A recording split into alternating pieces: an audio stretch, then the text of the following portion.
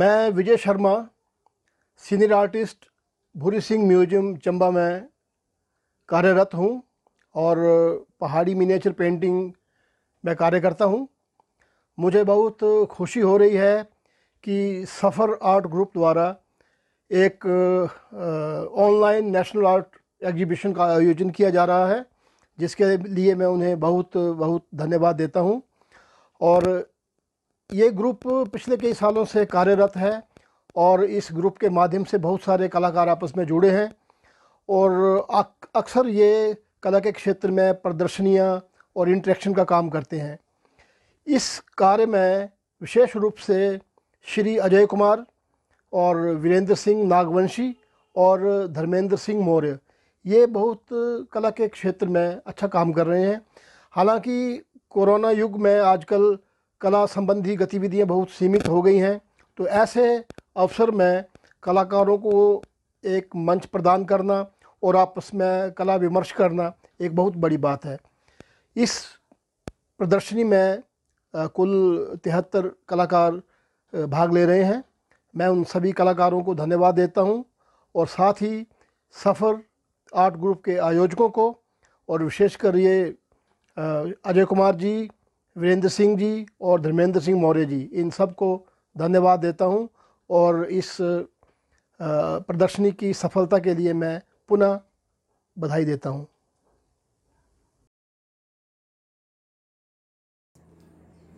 नमस्ते। सफ़र art group को बहुत बहुत शुभकामनाएँ। सफ़र आर्ट ग्रुप ने पिछले कुछ समय में ग्वालियर में ललित कला का एक बहुत अच्छा वातावरण बनाया है। वैसे तो ग्वालियर ललित कला के क्षेत्र में बहुत प्रसिद्ध रहा है। यहाँ फाइन आर्ट कल कॉलेज की स्थापना हुई, उसके बाद तो कला का, आधुनिक कला का, समकालीन कला का एक वातावरण बना ही। लेकिन ग्वालियर हर दृष्टि से कला के क्षेत्र में बहुत महत्वपूर्ण स्थान रखता है। लेकिन आधुनिक कला और समकालीन कला के क्षेत्र में चाहे हम चित्रकला की बात करें या मूर्तिकला की बात करें, ग्वालियर ने भारतीय कला जगत में, विश्व कला जगत में समय समय पर नए अध्याय जोड़े हैं। बड़े बड़े कला जगत के सितारे ग्वालियर से निकले हैं और कई आंदोलन भी यहाँ पे चले हैं। और हम उसी दृष्टि से सफ़र आर्ट समूह को उसी तरह के आंदोलन का एक पड़ाव मानते हैं, जिसके तहत श्री अजय कुमार जी, श्री नागवंशी जी और श्री धर्मेंद्र मौर्य जी इस सफ़र आर्ट समूह को आगे बढ़ाते हुए ले जा रहे हैं। आने वाले समय में सफ़र आर्ट समूह एक डिजिटल आर्ट प्रदर्शनी कर रहा है। हम सब जान रहे हैं कि ये जो कोरोना का जो काल चल रहा है, ये कठिन काल है, लेकिन कलाकारों की गतिविधियाँ बंद नहीं हो सकती हैं तो उन्होंने ऑनलाइन माध्यम से कला प्रदर्शनियाँ करना शुरू किया है। उसी के अंतर्गत सफ़र आर्ट समूह ने ऑनलाइन कला प्रदर्शनी का कार्यक्रम बनाया है, जिसमें देश भर से 300 प्रविष्टियाँ आई हैं, जिनमें से 70 से अधिक प्रविष्टियों का चयन किया गया है।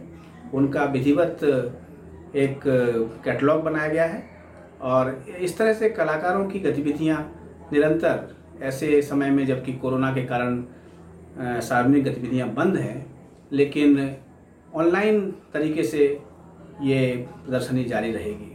मैं सफ़र आर्ट समूह को और उससे जुड़े हुए सभी कलाकारों को शुभकामनाएँ प्रेषित करता हूँ। धन्यवाद।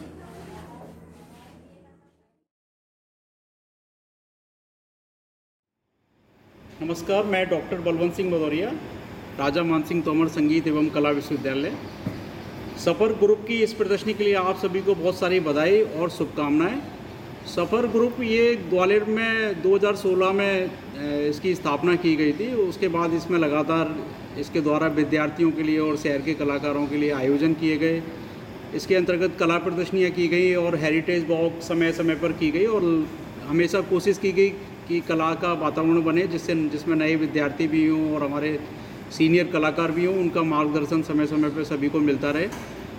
श्री अजय कुमार ने इसको निरंतर जारी रखा है और लखनऊ में भी, लखनऊ में अपने अध्यापन कार्य के दौरान भी को जीवित रखा और उसमें नए नए कलाकार भी इसमें जुड़ते चले गए।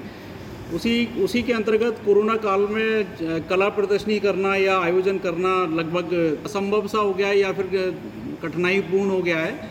तो उसमें जो आभासी प्रदर्शनी का जो विकल्प है वो बहुत अच्छा है और उसके अंतर्गत किया जाना बिल्कुल सही है और कलाकारों को अपने मनोबल के लिए और उत्साहवर्धन के लिए इन कला प्रदर्शनियों का और अन्य कला चर्चाओं के कार्यक्रम को करते रहना चाहिए। उसी के अंतर्गत यह प्रदर्शनी श्री अजय कुमार बी, और श्री वीरेंद्र नागवंशी और श्री धर्मेंद्र मौर्य के द्वारा आयोजित की जा रही है। और जिसके लिए आप तीनों आयोजकों को बहुत सारी शुभकामनाएँ और बधाई, और इसके अलावा जो उसके पार्टिसिपेंट हैं जो लगभग तिहत्तर के आसपास कलाकारों का चयन किया गया है सफ़र ग्रुप के द्वारा, उन सभी को बहुत सारी शुभकामनाएँ और बधाई। नमस्कार, धन्यवाद।